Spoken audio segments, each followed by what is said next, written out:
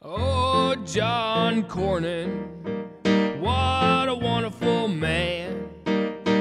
He's a Texas politician, oh yeah. He was born in Houston, and he was well educated at Trinity University and St. Mary's University School of Law.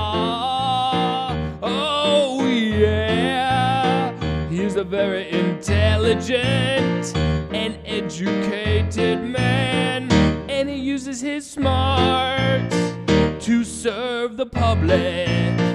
They elected him senator, representing the big old state of Texas. So, John Cornyn, what a wonderful man.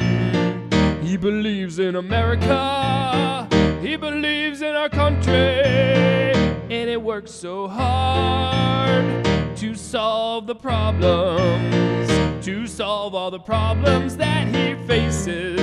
Working in the Senate, oh, John Cornyn, what a wonderful American.